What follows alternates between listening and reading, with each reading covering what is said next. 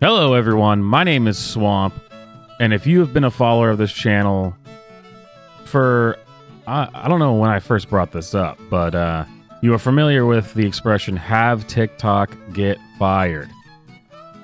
Well, we finally have a story that proves my point. it's it's no longer just a pipe dream of mine that if you have TikTok, you get fired. This is really great in any area that you have skin laxities. This is plastic surgeon Dr. Katharine Grawe. She likes to film her surgeries and post them on TikTok, sometimes even live streaming procedures. Tonight, she's had her license to practice revoked. Don't disrespect me and my man. Spend a whole lot of chops on your ass. Scram. Best known as Dr. Roxy to her over 800,000 social media followers, You're telling me that a doctor that was doing this kind of stuff was not super great at her job. I am shocked. Then again,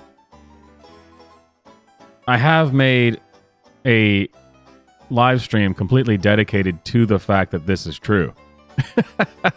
TikTok Tuesday, ladies and gentlemen. We've seen this coming for a long time. Have TikTok get fired. Social media followers, she would even do dance numbers in her operating room. No way, she do dance numbers? In a hearing in front of the Ohio State Medical Board, Grawe said she posted the videos to teach people about plastic surgery. Ah. And sometimes I did silly or fun videos, simply to make people smile in this world, which is often negative and difficult to navigate. Referencing one liposuction yeah, anyone who says something like that, we're here because you've damaged people's bodies and lives. and I just wanted to make people smile in this dark world.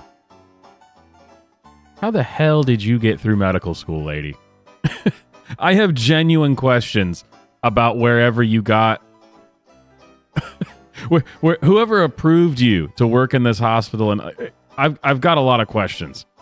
Surgery she live streamed, the board wrote, Your attention to the camera meant at those moments you were not looking at the patient, and called her practice a danger of immediate and serious harm to the public. Three of her patients sought emergency medical attention after their surgeries. Can you imagine?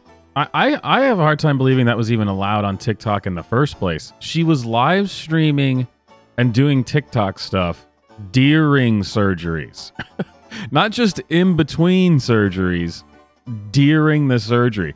Can you imagine you get out of surgery and one of your family members or something says, You're going to want to see this? Oh, really? What's that? Your doctor filmed the surgery. Oh, what, like for educational purposes? No, um she's on TikTok dancing during your surgery. yeah, see that? That's you right there on the table. We might want to go see another doctor. Jeez.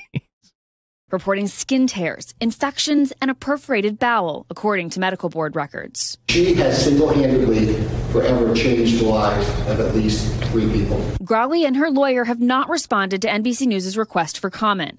The decision comes after five years of warnings from the state medical board. The lack of professionalism and poor judgment in delegating responsibilities to others appears to have significantly contributed to her falling below the standards of care. The board You know, we're we're supposed to believe that no reasonable adults can have uh, TikToks and do silly dances on social media for likes and clicks, and it's just a fun little side thing.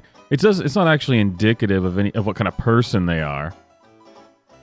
How stupid! what a stupid world we live in. Wow, I am just shocked that the lady who was doing TikToks, even if she wasn't filming or live streaming during surgeries, even if she wasn't doing that, just the fact that she's doing TikTok dance trends and stuff in the hospital.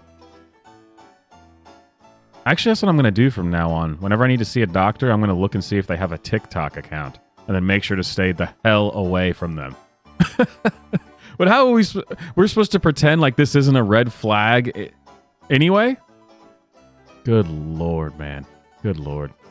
Ford temporarily suspended her license last year following patient complaints that they were injured after surgery. Mary Jenkins successfully sued Grawe in 2019 after the tissue of her breast reconstruction died, telling our Columbus affiliate WCMH It'll never go away because every time we look down and we see a scar, we're going to remember. those scars having a lasting impact. There's now also a Facebook group with more than 2,000 members, many of them alleging that they were also harmed by Dr. Grawe. In addition to losing her license, the plastic surgeon was ordered to pay a fine of $4,500, and there still is the possibility that she could appeal the board's decision. So, if you didn't learn this enough during COVID, stay away from dancing medical medical professionals. they are not to be trusted. I mean, really anybody. Anyone who's supposed to be a professional in their field and has a TikTok account. Well, um, okay. Well, uh, I, I guess you could have an educational TikTok, but that's just you're you're stretching it. You're playing with fire. I think it's better to just say have TikTok get fired. What more do you need? anyway, my name is Swamp. I hope you enjoyed this video. Hit like, hit subscribe, hit the bell for notifications, and leave a comment saying, well, maybe if she live streamed a surgery for me, it could increase my followers. So I'd be willing to deal with dead tissue and infections and life altering harm for followers, man, for the clout. For that sweet, sweet ad revenue I can get from the follower. I I don't know. I'll see you guys next time.